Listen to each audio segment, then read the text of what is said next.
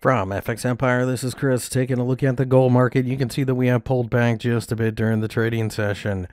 Now, having said that, we are still very bullish, and if you squint just a little bit, you can see a bullish flag.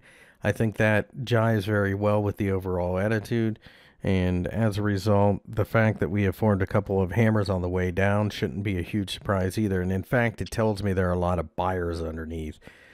1525 marked by the rectangle is an area that I'm looking for support. So is the 50 day EMA currently at the 1510 level and then 1500. I believe the floor in the market is closer to 1450. I do like buying, but you know, it's probably best to get in slowly and just kind of build up a position.